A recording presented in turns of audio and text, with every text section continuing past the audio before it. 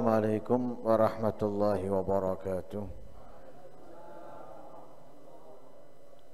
بسم الله والحمد لله والصلاة والسلام على رسول الله سيدنا ومولانا محمد بن عبد الله وعلى آله وصحبه ومن والاه ولا حول ولا قوة إلا بالله نويت تعلم وتعليم والنفع والانتفاع والمذاكرة والتذكير والإفادة والاستفادة والحث على التمسك بكتاب الله وسنة رسوله والدعاء إلى الهدى والدلالة على الخير ابتغاء وجه الله ومرضاته وقربه وثوابه من الله تعالى.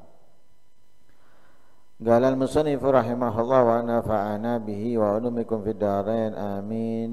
في كتابه المنهج السوي إلى قوله الفصل الرابع في كتب في كتب تحذر القراءة فيها.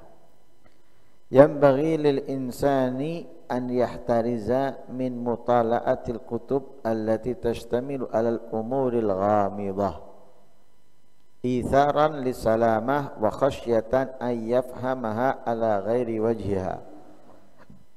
فيضل عن سواء السبيل ويهلك مع الهالكين. Wadhalika mithlu mu'allafati Syekh Ibn al-Arabi. Wa kitabai al-Mi'raj wal Madnun lil Imam al-Ghazali. Wa kadzalika mu'allafatu Syekh Abdul Abdul Karim al-Jili kama dzakara dzalika Sayyiduna Abdullah al-Haddad fi risalatil muawanah. Fasal yang keempat membahas tentang kitab-kitab yang dihati-hatikan, diwaspadakan untuk dibaca. Jadi ada kitab-kitab tidak diperkenankan dibaca oleh sembarang orang. Sebagaimana di pertemuan sebelumnya telah kita jelaskan bahwa terkadang kitab itu bagus. Dalamnya sangat manfaat. Akan tetapi tidak mudah difahami oleh semua orang. Hanya orang-orang ter, tertentu yang bisa memahami sehingga apa yang dia pahami bisa memberikan kemanfaatan untuknya atau dia berikan kepada yang lain. Jadi gambarannya yang lain itu sudah menerima matengan. Bukan mentahan dia baca, dia berusaha memahami, tidak bisa. Tapi kalau orang yang mumpuni, orang yang benar-benar menguasai membaca bisa memahami dia mendapatkan kemanfaatan apa yang dia dapatkan ini bisa dikasihkan ke yang yang lain seperti bahan-bahan obat. Ini untuk obat panas misalnya. Kalau kita berikan ke sembarang orang bahannya bahannya akhirnya bahaya nanti. Kalau salah ngeracik. Ya, salah ngeracik bahaya bisa kelebihan yang ini akhirnya membahayakan untuk ininya kelebihan yang ini membahayakan untuk yang ininya dan beresiko tapi kalau bahan tadi ini diberikan kepada yang ahlinya diracik sama yang ahlinya akan sesuai Manfaat untuk siapa? Untuk yang ngeracik, juga yang diracikkan. Paham ini ya? Nah, sama-sama manfaatnya. Yang diracikkan, terima matengan, tinggal minum. Wis umbin, satu kali tiga atau berapa terserah. Ya, sini, minum. Nah, tinggal racik, tinggal melaksanakan aja. Dia nggak perlu numbuk atau nggak perlu ngeracik, ngukur, nakar dan yang lain sebagainya nggak langsung minum. Sama dengan kitab-kitab tertentu itu. Dilarang untuk dibaca bukan berarti kitabnya isinya bahaya, isinya beresiko, isinya membuat kita melakukan kemaksiatan, bukan. Ini bahasa yang dipakai nggak bisa difahami oleh sembarang orang, tapi orang-orang tertentu itu diwaspadakan. Sehingga dikatakan yang bagi insan an yahtariza. Seharusnya bagi setiap orang itu menghindar atau menjauh min mutalaatil kulu min mutalaatil kutub daripada menelaah kitab-kitab allati tastamilu alal umuril ghamidha yang meliputi di dalam kitab-kitab tersebut perkara-perkara yang dalam. Nah, jadi kalau belum bisa berenang atau baru bisa berenang, jangan nyoba ke yang dalam karena orang baru bisa berenang itu masih ngatur nafas. Bisa jauh, itu masih ngatur nafas.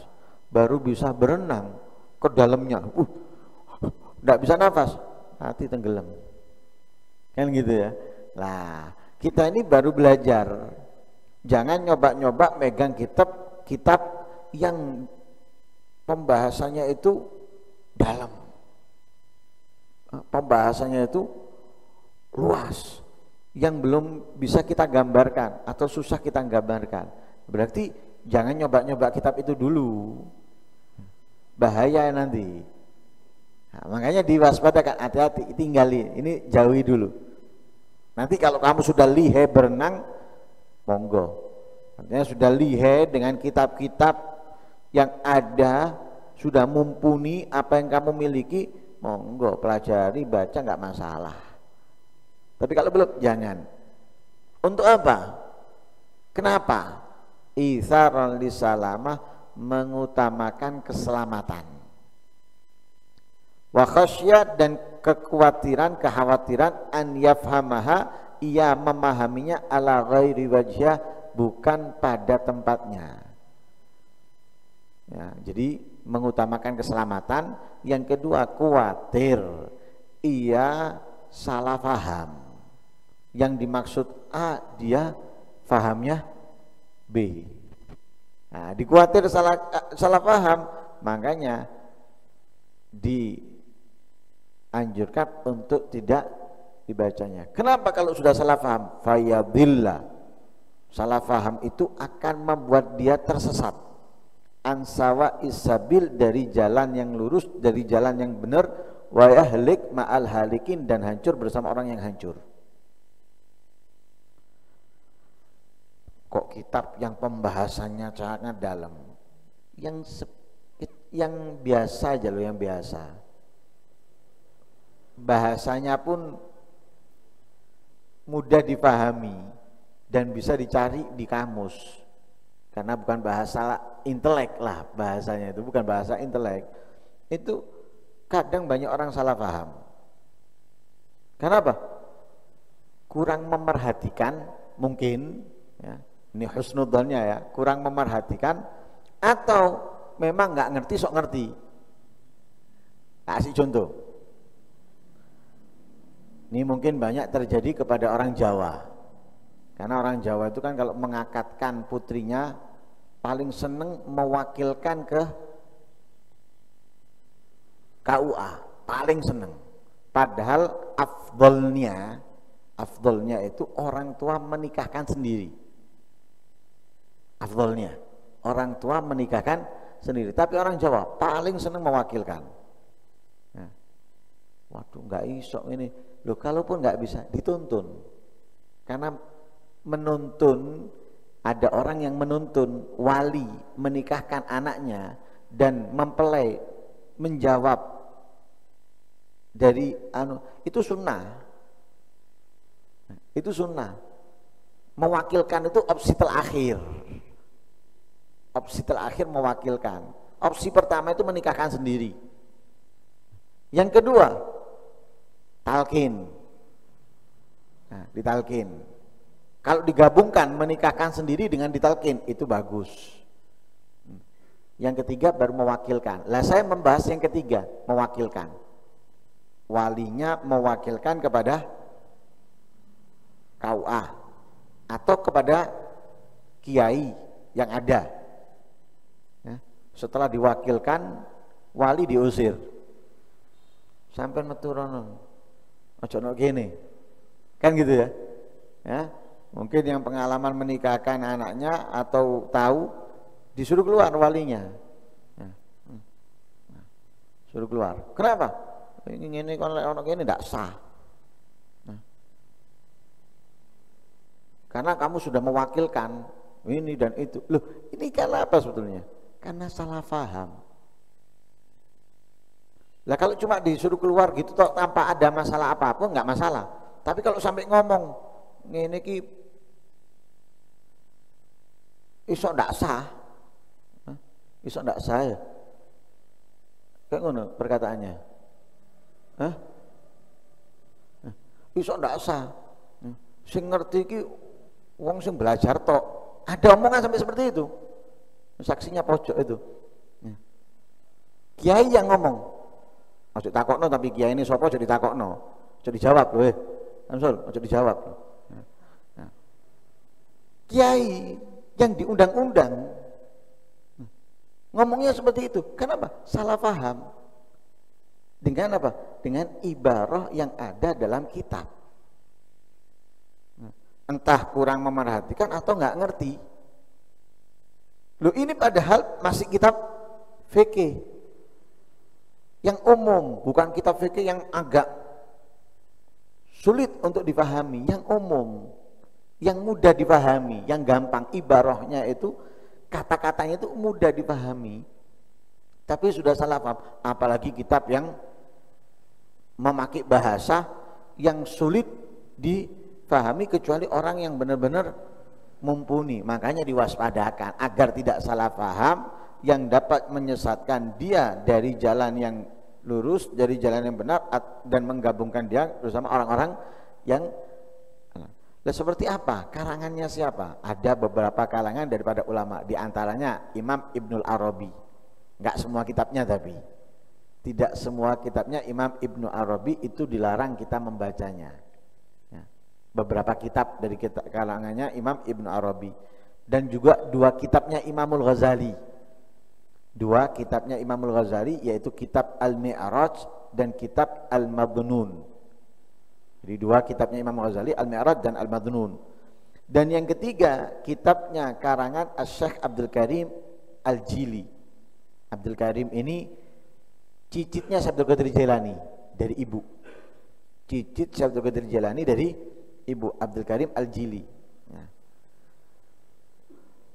Tiga nih kitabnya Ibn Arabi dua kitabnya Imamul Ghazali yaitu Al-Mi'raj dan Al-Madnun dan yang ketiga karangan daripada Syekh Abdul Karim Al-Jili. Ya. Seperti itulah yang dikatakan oleh Al-Habib Abdullah Haddad di dalam kitabnya Risalatul Muawanah. Al-Habib Abdullah Haddad menganjurkan kita untuk banyak membaca kitabnya salaf. Tapi juga beliau mewaspadakan hati-hati membaca kitab yang pembahasannya itu dalam pembahasannya itu luas yang belum mampu kamu fahami atau mengerti. Kalau ada yang ngomong, enggak anak mau membaca yang anak fahami, anak ambil, yang enggak anak fahami, enggak anak tetap katanya Habibullah Haddad jangan. Walaupun enggak bahasa yang anak fahami, yang anak mengerti, anak pakai, yang enggak ya sudah lewati, jangan tetap. Karena apa? Orang kalau sudah membaca, biasanya apa? Ingin mengetahui. Lah karena ingin mengetahui padahal sudah dilarang, tadinya dia hanya ingin mengambil yang dia mengerti, akhirnya masuk terjerumus. Nah, di situlah terjadi ya, penyesatan menjadi liberal, ya, menjadi ateis dan yang lain sebagainya. Padahal itu tadi yang dibaca kitab yang istimewa, tapi karena belum waktunya, akhirnya dibaca, fahamnya keliru, keluar dari akidah ahli sunnah wal jamaah. Menjadi liberal menjadi ateis dan yang lain sebagainya. Wa qala al-imam sayyidina al-imam Idrus bin Umar al-Habsyi nafa'allahu bih. Ruwiya an sayyidina Abdullah al-Idrus annahu ra'a biyat waladihi Abi Bakar al-Adni juz'an min al-futuhat al-makkiyah. Li Ibn Arabi fajazarahu an mutala'atil kitab hadalikal kitab. Habib Idrus bin Umar Al-Habsyi bercerita, beliau meriwayatkan dari Sayyidina Abdullah Al-Idrus Al-Akbar. Ya.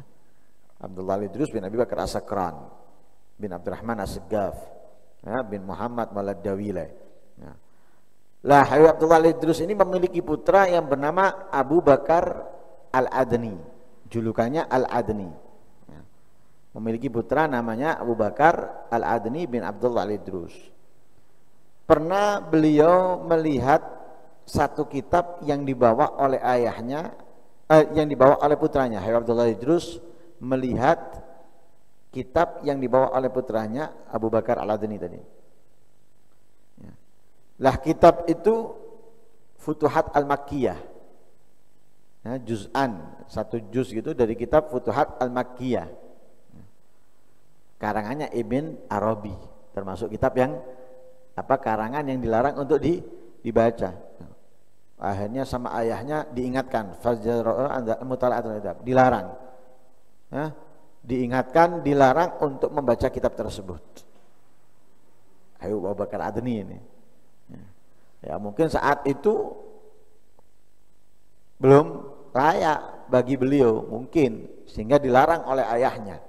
Karena beliau ini Abu Bakar Adni ini menjadi orang yang hebat, menjadi wali min auliyaillah ya, yang tinggal di kota Aden. Bahkan eh, saat itu yang mau masuk kota Aden itu tidak boleh masuk kecuali mengeluarkan karomah. Lah beliau mengeluarkan karomah dengan apa? Turun di Aden hujan susu. Nah, kalau kita kan udano susu, ya Iwatu. Nah, karena ini di hujan hujan susu, hujan susu beneran susu yang turun. Nah, itu di antara karomah yang dimilikinya masih banyak karomah yang lain. Lah beliau ini saat itu dilarang. Dilarang untuk membaca kitab tersebut oleh ayahnya Al-Habib Abdullah Al-Idrus. Ya banyak di antaranya nanti akan kita sebutkan beberapa kitab lainnya mudah-mudahan sekarang kita belum bisa memahaminya, bisa belum mengerti dan insya Allah di kemudian hari kita bisa memahami dan kita layak untuk membacanya dan apa yang kita baca dari kitab-kitab tersebut bisa membuat kita semakin kuat iman kita, semakin dekat hubungan kita dengan Allah dan Rasulnya. Amin. Allahumma amin. Wassalamualaikum warahmatullahi wabarakatuh.